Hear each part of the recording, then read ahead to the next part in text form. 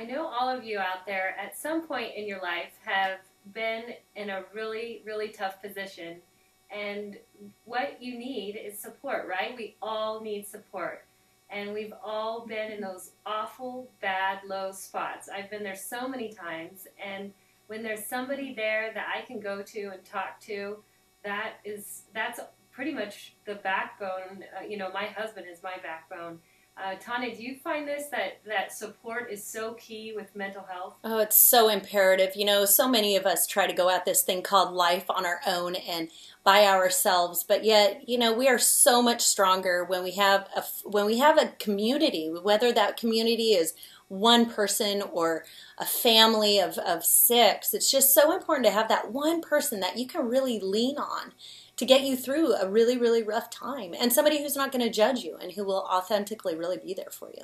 Oh, I, I definitely agree. It, it is so hard to go about uh, a problem in your life on by yourself.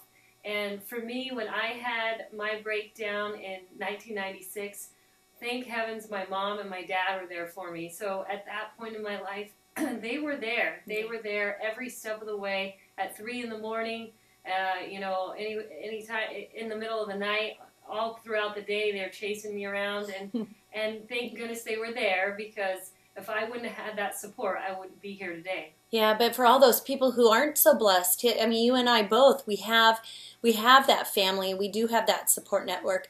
But for all the people who are listening to us and who are watching us right now, you may feel totally alone and really believe that you don't have anybody.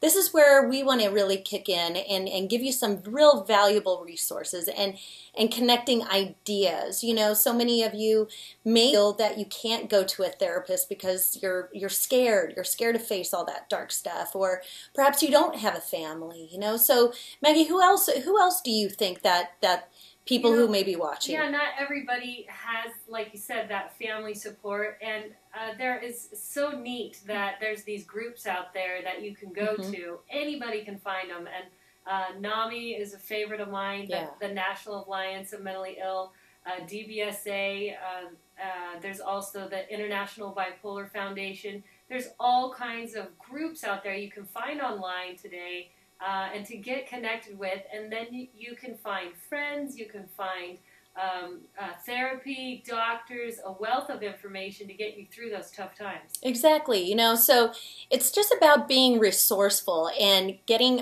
and getting on the internet um, asking Maggie and myself, excuse me while I fix this, asking Maggie and myself for, for help. Just know we don't want you to feel like you're like you're all by yourself. You know, for people who need, I think this is really important, and it's something that I had a crisis happen with one of my clients during my practicum uh, experience in in graduate school. And the woman's son was in a real high psychotic state and somebody within my cohort said, Well, how about the emergency psychiatric emergency team, the PET team? And I believe every county has that. So if you know that somebody is hurting, you can always call the PET team, 911. You can call the hospitals. But most importantly, get your resources written down so when something does happen, don't wait till you're in that dark space because this is very serious. Overnight, Maggie's life changed, and overnight, my life changed. So we just really want to make sure that you have the valuable resources at hand when something does happen.